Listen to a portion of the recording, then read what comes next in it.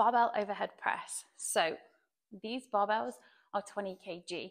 If you're not comfortable with this weight, use some of the preloaded barbells. There should be some at your gym and they'll be um, kind of thinner, shorter bars with big numbers on the end. And they should start at around 10 kg, which will be completely fine for you to use.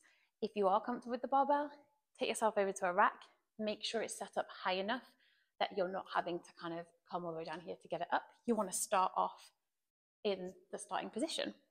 So I'm going to take my hands shoulder width apart, come under the bar, lift it off, step away, and from here, I'm going to do a nice strict press. So up above my head and back down towards my collarbone. Here, you want to be moving your head in a fluid way so that you don't get hit by the barbell. We can also really push through. So you can see here that my shoulders are probably way kind of further back. So are my elbows. That's a lot to do with my kind of hypermobile joints, but it is not unsafe if that is your range.